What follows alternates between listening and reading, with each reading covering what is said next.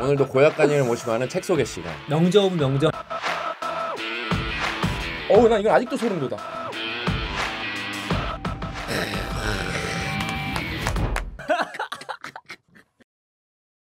졸꾸러기 여러분 안녕하십니까 신박사 TV의 신박사입니다. 오늘도 고작가님과 함께하는 큐블리케이션 타임. 오늘 책은 아주 또 알차고 기가 막힙니다. 피부는 인생이다. 이게 뭐 미용 이런 책은 아니고 아 정말 이게 과학책이거든요. 과학책. 그래서 이제 피부하면 미용 이렇게 생각하기 쉬운데 음. 완전히 과학책인데 이거는 그 아마존 독자 리뷰가 완벽한 것 같아요. 이 책에는 역사, 사회학, 과학 전반에 걸쳐 장대한 피부의 여정이 다 나옵니다.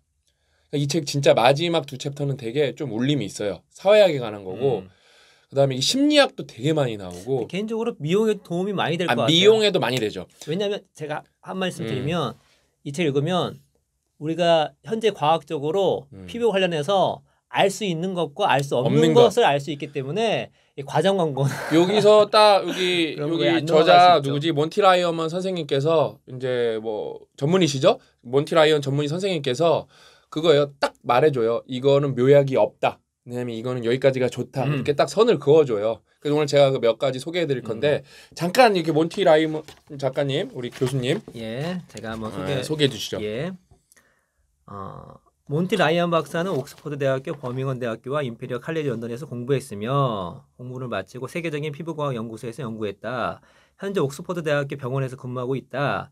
라이언 박사는 의학 분야 저술 활동으로 전국 규모의 상을 여러 차례 수상하고 여러 컨퍼런스에서 강연과 발표도 다수 실시했다. 음. 탄자니아에 실시한 피부과학 연구 결과를 밝힌 보고서로 2017년에 왕립문화학회 회장인 콜린 서브런이 시상한 얼프레드 레이, 세이저 여행 저술상을 수상했다. 음. 그리고 이 책 피부는 인생이다는 2019년 영국에서 출간되어 BBC 라디오 4, 선데이 타임즈를 비롯한 주 영국 언론에서 꼭 읽어야 할 책으로 다루어졌고 음.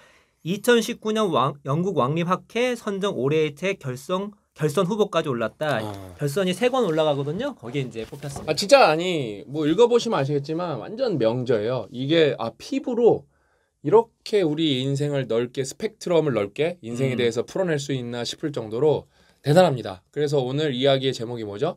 제가 이 책을 통해서 깨달은 인생의 중요한 사실 세 가지예요. 음. 중요한 사실 세 가지 뭐 여러 가지 있는데 그거 잠깐 들어가기 전에 제가 크게 크게 적어놓은 거 보면 이 책 보면 재밌는 게 되게 많이 나와요. 여기 보면 이제 그거 가상의 이게 십사면체 같은 거 나오거든요. 십사면체가 이게 되게 사람들이 아 이거 공부한다 그러니까 누구야 스코틀랜드 수학자인 켈빈 경이 이거 연구한다 그 사람들이 미친 짓이다 그랬는데 이 십사면체가 거품의 그러니까 완벽한 구조거든요. 이거가 뭐 이거 연구해봤자 무슨 의미 있냐 그랬는데 이게 어떤 거냐면은 한 공간을 동일한 부피로 채우면서 표면이 가장 적은 완벽한 형태. 거품이 그런 형태라는데 이걸 공부해 보니까 피부에서 이 형태가 다 발견되는 거예요. 이 음. 피부가 계속 이렇게 변화하는데 이게 너무 재밌어. 이거는 다 읽어보셨으면 좋겠고 그다음에 또 재밌었던 게 뭐냐면은 이게 지금 배가 제가 두 쪽 넘어간 거예요. 두 쪽. 지금 두 쪽 넘어간 건데 다음에 뭐 먹으면 여러분이 야식을 많이 먹으면은 여러분 피부에도 생체 시계가 있거든요. 그래서 여러분이 야식을 많이 먹으면은 우리가 저녁을 6시, 7시에 먹잖아요. 뭐 8시에 먹거나 근데 12시에 먹으면 피부 시계가 그걸 저녁으로 인식을 해서 음. 여러분이 더 많이 타요. 그 결국엔 더 안 좋습니다. 재밌더라고. 예. 또또 또또 이렇게 쑥 넘어가면은 그 다음에 이렇게 에크린 샘이 이게 땀 나오는 건데 피부 전체에 많이 퍼져 있었는데 이게 보통 손에 제일 많아서 손에서 땀이 제일 많이 날 것 같은데 이게 안 나요 생각보다. 근데 또 손에 땀이 언제 가장 많이 나냐? 긴장을 하고 위기가 닥쳤을 때. 막 손에 막 땀 난다 그러죠. 왜? 그게 우리가 진사회성 동물로서 이게 생존 신호인 거예요. 생존 신호. 생존 신호가 이렇게 딱 우리가 호모사피엔스부터 이렇게 쭉 컸잖아요. 우리가 이게, 생, 이게 진화해 왔는데 이게 딱 그래야 손이 미끄러지지 않으면서 땀이 나야 음. 끈적끈적해지잖아요. 도망가거나 싸울 준비가 되는 거예요. 어, 이게 너무 신기하더라고 나는요. 이게 제가 여러분 지금 여섯 쪽 읽으면서 여러분들한테 잠깐 맛배기로 해드린 거고 여기에는 내용이 너무 많아요. 논문을 너무 많이 그 참고하셨기 때문에 본인이 또 이거 직접 공부한 게 전문가시고 그래서 제가 오늘 이제 세 가지 글을 잘 쓰셔가지고 글을 엄청 잘 써. 오지게 잘 써. 비유가 음, 찰져. 음, 오지게 글을 잘 쓰시는 양반이야. 그래서 제가 오늘 세 가지 깨달은 세 가지 여러분들한테 말씀드리면 첫 번째는 이제 정말 피부에 관한 거예요. 아 내가 선크림을 안 발랐던 내가 미친 놈이었구나. 고약가님도 선크림 안 바르고 저도 안 바르고 그냥 타면 타게 냅두거든요. 아 우리가 만약에 백인이었으면은 뒤졌다. 어. 그냥 벌써 피부암 걸렸다. 그러니까 여러분 이게 놀라운 사실이 뭐냐면은 제가 그 수치를 조금 말씀드리면은 어 여러분 그러니까 동양인이 좀 그래도 백인보다는 유리해요. 근데 백인은 여러분 태양의 거의 뭐 최약자 중에 하나입니다. 근데 여러분 30년간 미국의 파, 미국의 피부암 발생 건수는 우리나라는 아니에요, 여러분. 다른 어떤 암을 합친 것보다 많아요. 그 정도로 여러분 피부암이 심각한 거고 호주는 원래 이제 그 유럽 애들이 이렇게 넘어와서 정착해서 산 거잖아. 걔네들이 이제 그 유럽이라는 게 영국 이쪽 애들이 넘어온 건데 걔네가 여러분 얼마나 거기가 어두워요 평소에 그 날씨가 음. 흐리니까. 음. 근데 호주는 햇빛이 쨍쨍 찌니까 어때요? 호주에서 세 명 중 두 명은 엄청난 수, 그러니까 66%는 생애 어느 시점에 피부암에 걸려요 반드시. 너무 고통스럽게. 그다음에 뭐 여러분 피부병으로 고통받는 사람이 주변에 너무 많아요. 저부터 음. 일단 화농성 한산염이어 갖고 피부병 때문에 그러고 저희 아이프가 한포진, 결이도 아토피. 제 주변에 보면은 피부로 고통받는 사람이 너무 많아요. 음. 근데 우리가 그 저는 얼마나 또 한심한 소리까지 했었냐면은 또 아는 척 해야 되잖아요. 새끼야, 야. 그 자외선 차단제 바르면 자외선이 안 들어와서 멜, 그거 뭐냐 비타민 D 합성이 안 돼 분해가 안 돼 갖고 그래서 이렇게 되게 합리적인 어 그거 틀린 얘기는 어, 어, 아닌데. 틀린 얘기는 아니었어. 난 원래 좀 공부를 했으니까. 틀린 얘기는 근데 아니야. 그것도 여기서 개소리라고 딱 정리해 주십니다. 그런 개소리라고 그냥. 근데 여러분 또 이 근데 선크림은 무조건 바르는 게 좋아요. 그렇지. 무조건 바르는 게 어. 좋아요. 왜냐면은 이 피부가 여러분 이 태양이 좋은 것도 있지만 우리 공격을 너무 심하게 하기 때문에 이게 흑인이 뭐 가장 막강하고 태양에 음. 대해서는 근데 동양인도 백인보다 낫지만 여러분이 결국에는 피부를 너무 그러니까 햇빛을 그 피부를 노출을 햇빛에 너무 많이 시키면 노화도 빨리 일어나고 피부 암 걸릴 확률도 너무 높게 올라가요. 그래서 무조건 피, 그 태양에서 즉 이게 그, 유, 그 UV light 그러니까 자외선에서 여러분을 보호하는 게 되게 중요하다. 근데 제가 이거를 뭐 대충 알고 비타민 D도 어설프게 알아서 고작가님 저는 그런 거 안, 저는 로션도 잘안 바르는 거거든요. 근데 뭐 어디 이제 여름에서 좀 어. 이게 예를 들어 야외 활동을 해야 된다. 무조건 선크림 챙겨 봐. 나만 안 바르고 응. 있었는데 바르려고. 예, 아 진짜 꼭 발라야 돼. 나는 그다음에 그다음에 여러분 이제 중요한 게 그 한 카테고리예요. 세 두 번째가 아니고 한 카테고리에서 내가 정말 이 피부에 관련 돼서 깨달은 것 중에 아 비타민 D는 좀 필요하면 챙겨 먹어야겠다. 저랑 와이프가 이 책을 읽으면 저는 바로 실천가기 때문에 저희 와이프가 습진 한 포진으로 몇 년 동안 고생을 하고 음. 있어서 머리 감을 때도 글러브를 끼고 앉고 제가 설거지도 제가 해주는데 요즘에는 식기세척기 샀어요. 식기세척기 사서 식기세척기가 해요 요즘에는. 그래서 그 정도로 저희 와이프가 한 포지는 제 친구가 피부과 전문이기 때문에 그 교과서를 캡처해서 보내줬어요. 음. 교과서 캡처해서 보냈는데 낫는 방법이 잘 없다. 완치가 잘 안 된다고 써 있어요. 근데 여기서 이제 이 비타민 D에서 이거 되게 꿀 정보가 나오는데 그냥 이제 습진, 주부 습진 뭐 이런 거 걸리시는 분들은 뭘 먹으면 좋냐면은 비타민 D를 인위적으로 섭취해주는 게 되게 그러니까 보충제로 섭취해주는 게 되게 좋아요 효과가. 그래서 제가 조금 읽어드리면은 습진과 같은 피부 질환을 보충제로 해결하려는 시도는 영화의학 그리고 의학의 전체까지 어려운 숙제를 잘 드러낸다. 바로 인체는 우리가 바라는 것보다 훨씬 더 복잡하다. 이게 전형적인 복잡 얘기를 또 해요. 그러니까 이- 그러니까 원인과 결과가 direct로 매치가 된다는 게 아니라는 거. 이게 되게 two 쿠션, three 쿠션으로 가기 때문에 전형적인 복잡계 결과라는 거예요. 비타민 D의 경우는 습진 증상이 개선에 효과적이라는 약간 더 밝은 전망이 확인됐다. 그래서 쭉 읽어드리면은 한 연구에서 하루에 비타민 D를 1,600 IU씩 섭취한 사람들은 습진 증상이 개선된 걸 나타났으며 뒤이어 실시된 다른 연구들에서도 다른 결과가 나왔다. 이게 reference가 18번으로 있습니다. 그러니까 저희 와이프가 이거를 되게 이게 습진이 이게 심했는데 지금 그래서 우리가 이제 바로 먹기로 하고 그다음에 제가 다른 것 때문에도 또 저도 먹어야겠다고 생각이 든 게 여러분 또 이거를 하나 제가 읽어드리면은 이 비타민 D가 얼마나 중요하냐면은 이게 또 다른 챕터에 나오는 얘기예요. 비타민 D 결핍 시 발생하는 질병을 보면 비타민 D가 뼈의 고라 과정에서 얼마나 중요한 기능을 하는지 알 수 있다. 골련화증, 어? 아동기에 발생하면 구루병이 된대요. 경우 뼈가 물러지고 쉽게 구부러지거나 부서질 뿐만 아니라 근육도 약화된다. 이러한 영향은 뼈와 근육에만 한정되지 않는다. 인체를 구성하는 거의 모든 세포에 비타민 D 수용체가 존재하며 활성형 호르몬이 면역계와 암 예방, 심지어 정신 건강에도 영향을 줄 수 있다는 증거가 점차 밝혀지고 있다. 그래서 그러면은 제가 옛날에 그래서 저는 아 그냥 우스갯소리로 나도 강압성 좀 때리러 나가야겠다. 그래서 선크림 안 바르고 햇빛 받으러 나간 거예요. 왜냐면 비타민 D가 이렇게 중요한 거는 음. 감은 있었거든요. 여기저기서 본 게 있어갖고. 근데 옆 어때요? 선크림 안 바르고 비타민 웃긴 게 뭐냐면은 선크림 바르면 또 비, 비타민 D 합성이 잘 안 돼. 이 trade-off가 있단 말이에요. 그래서 여기서 이분이 이제 전문가잖아요. 명확하게 얘기해 줍니다.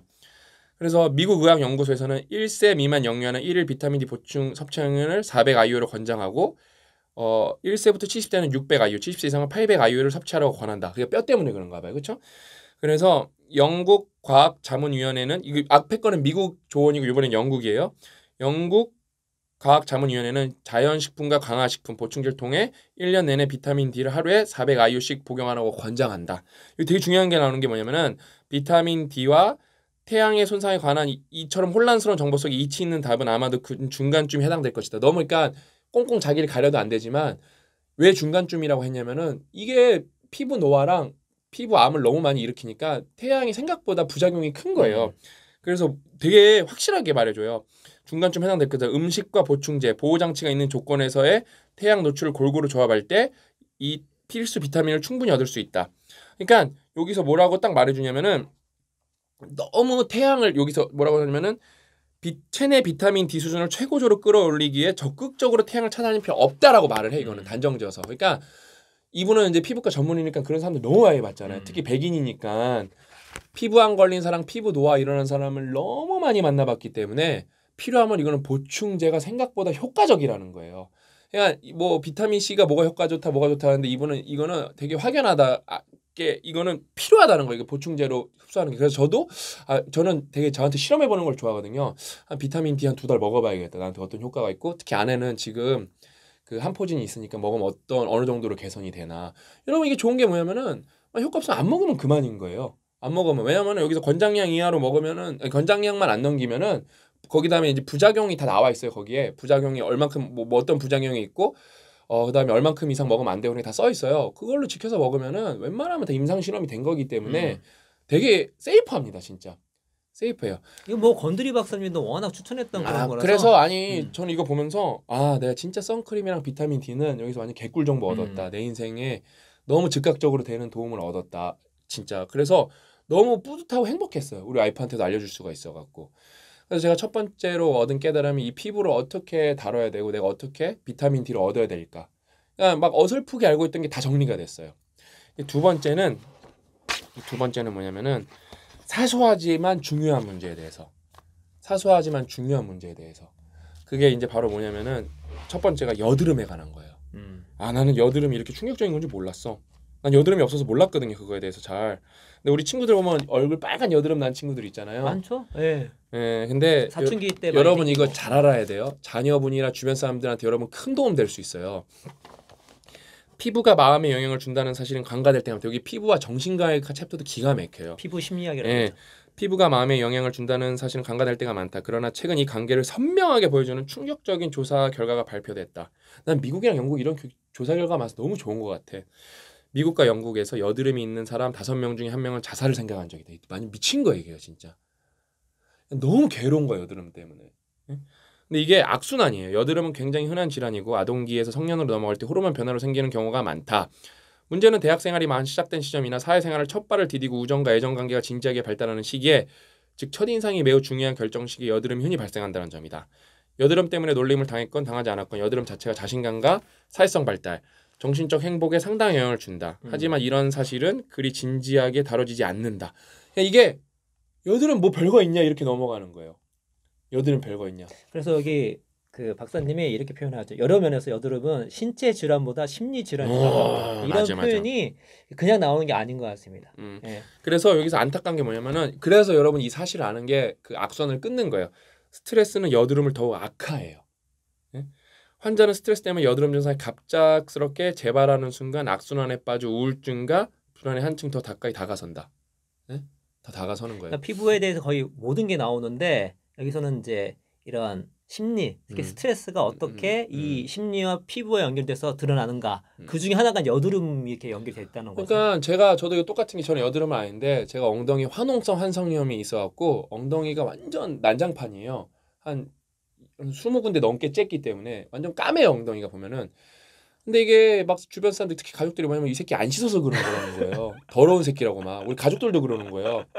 내가 그래서 그- 나도 그렇게 생각했지 동기인 줄 알았지 맨 처음에. 어.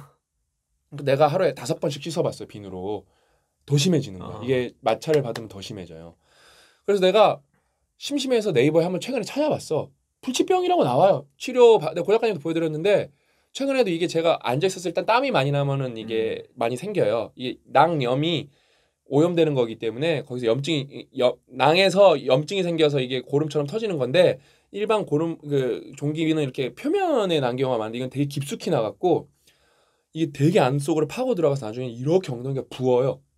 종기는 여러분 이렇게 골 맞고 터지잖아요. 이거는 이렇게 크게 안으로 부어요. 안으로 안으로 파고 들어가서. 음. 그래서 최근에 제가 저는 이게 골면은 이 노하우가 20년 있기 때문에 음. 알아서 터지게 냅둬요. 그거를 이게 잘 참아요 그 고통을 노하우가 있기 때문에. 지금 스토리 듣는데 어, 내가 어 고통스럽더라. 그다음에 병원에 가니까 화- 여기 피부과 어. 그래도 이 치료 전문 피부과 갔거든요. 선생님이 으막 이랬어요 진짜. 이거 어떻게 살았냐고. 제가 이거 처음 수술한 게 군대 수도통합병원이거든요. 어. 내가 군대에서 그, 그 나쁜 말로 이렇게 뺑기를 안 부렸거든요. 그러다가 보니까 이게 점점 골마 터져갖고 나는 수도통합병원이라는 개념도 몰랐어요. 음. 근데 우리 고참이 보더니 너무 징그러워하는 거예요. 그래서 그 행복한한테 말해서 수도통합병원 가니까 나 거기 잘 것도 안 갖고 왔는데 바로 입원시켜버렸어. 얘 음. 어떻게 그 군생활 너네 음. 그다음 우리 고참한테 엄청 뭐라 그랬어요. 너네 얘네 군생활 어떻게 시킨 거냐고. 이거 가혹행위라는 거예요. 나는 근데 참을만 했었거든요. 근데 이게 터져야 되는데 안 터지고 계속 들어간 음. 군대에서. 그래서 내가 군대에서 여러분 이게 종기 째는데 하반신 마취해야 돼요. 종기 째는데 그래서 막 그때 군대에서 짠게한 일곱 군데 열네 군데 이래요. 두 번 하반신 마취라고 수술을 했어요. 수술 종기인데. 아 여러분 이게 이게 심리적으로 진짜 암 걸릴 것 같아요. 근데 이제 약간 비슷하지만 삼천 빠지면 이 책에 고통에 대해서 얘기가 많이 나옵니다. 음. 왜냐면 이 통과학 되게 중요하기 때문에 고통이 어떻게 발생되고 음. 어떻게 분석되어지며 그것이 우리 심리에 어떻게 영향을 미치고 음. 특별히 가려움과 어떻게 다른지가 나오는데 음. 되게 재밌습니다. 아 그 여기서 고통의 역설이 나와요. 어떤 사람이 고통 없는 병에 걸리는 얘기가 나오거든요. 통증을 못 느끼는 무, 병에. 무통각 통각증인가? 네. 어 아무튼 거기 되게 리마커블해요. 음. 그 고통 없는 게 지옥이다라고 말해요. 그거 꼭 읽어보셔야 돼요. 그다음에 이제 두 번째가 그다음에 우리가 이제 여, 여러분도 우리도 한번 만져야겠다. 서로 우리 교감할까요? 교감했어. 우리 손으로 교감한 거예요. 왜냐면은 제가 이제 접촉에 대해서 중요한 거 말씀드릴게요. 접촉이 인간의 발달에 생존에 주는 영향은 상당 영향이 상당 부분 양육과 관리가 위태로운 환경에서 악 확인된다는 사실은 우리를 숙연하게 만든다. 어, 1978년 콜롬비아 보고타에 위치한 모자 병원은 인력뿐만 아니라 인큐베이터 설치를 공, 하- 설치할 공간이 부족해 애를 먹고 있었다. 그러나 가장 큰 문제는 환자 사망률이 거의 70%에 육박한다는 것이었다. 결국 에드거 레이, 레이 사, 사나부리아 박사는 극단적 대책을 시도해보기로 했다. 엄마가 가슴에 아이를 아이의 피부가 닿도록 조산아를 꼭 안고 있게 했다. 아 이거 이거 체인지 그라운드 영상이랑 똑같은 얘기네. 음, 맞아요. 네. 어, 했다. 온기를 주는 동시에 모유 수유를 촉진을 위한 방법이었다. 그러자 사망률이 단시간에 70%에서 10% 7분의 1로 떨어져요. 개선이 70% 이상 된 음. 거예요. 미친 거예요, 이 정도면은요. 그러니까 원래는 이제 이런 내용이 그 되게 유명한 내용이긴 음. 한데 이게 발달 심리학이 보통 나오는 음, 건데 음. 중요한 거는 여기서 피부를 중심으로 음, 그러면서 어 재조명해 볼 수가 있는 거죠. 이 캥거루 케어라 그러는데 이거를 다른 개발도상국 태어난 아기들에게도 생후 첫 주 일주일 동안 캥거루 케어를 실시했는데 어떤 현상이 일어났냐? 숨질 확률이 51% 감소했어요. 음. 그다음에 살가살이 맞닿는 접촉은 양방향으로 작용한다. 아기를 안아주는 부모에게도 불안 감소, 양육 기술에 관한 자신감 증대 등 심리적으로 유익한 영향이 발생한다. 우리도 교감 한번 또 하고 교감 한번 또 하고 내가 만지고 있어 지금. 그러니까, 그러니까 이런 스토리도 나오면서 이 책이 뭐가 나오냐 그 접촉했을 때 이 피부 안에서 나오는 메커니즘 있잖아요. 음. 이런 것이 되게 자세히 나와 있어요. 되게 재밌습니다. 아이 책 진짜 개울용이에요 진짜. 그 다음에 마지막으로 그 다음에 이제 세 번째 이거는 뭐 우리 졸꾸러기 정도는 좀 잘하는 건데 자가 면역 질환을 공부하는 게 인생에서 음. 정답이다. 또 나와요. 아, 여기서 자가 면역 질환 얘기가 어마어마하게 많이 나와요.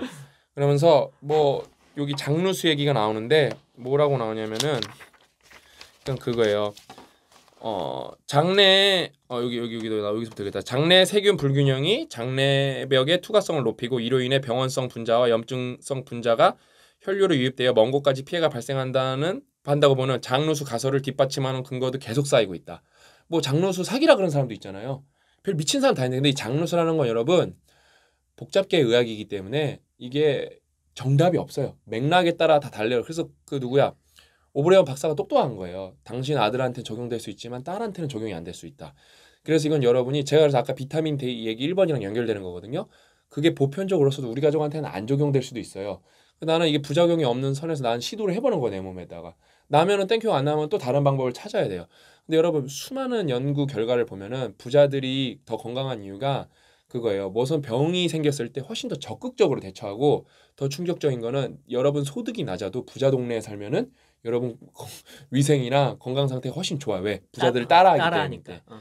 그러니까 보통 사람들은 병원 가서 한 번 가보면은 그뭐 절대적으로 믿는데 부자들은 그러니까 예를 들어 지식 수준이라 그래야 되나 교양 수준이 높은 사람들은 어 이 진단이 틀리지 않았을까 하고 해서 다른 데도 검진을 받아보는 경우도 있어요.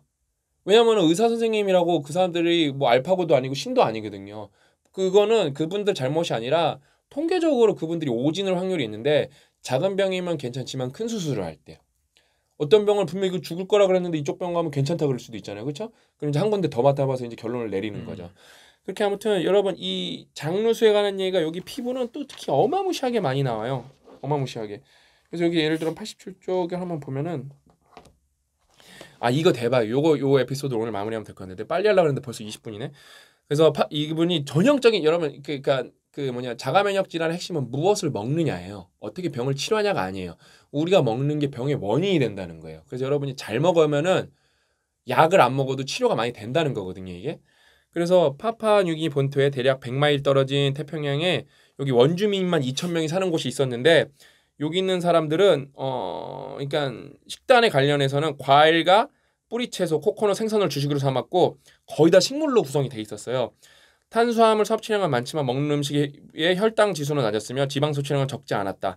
그러니까 린더베리의 교수님이 가서 했는데 연구에서 키바타 주민들의 심장 질환과 뇌졸중 발생률이 낮다는 사실이 확인됐다.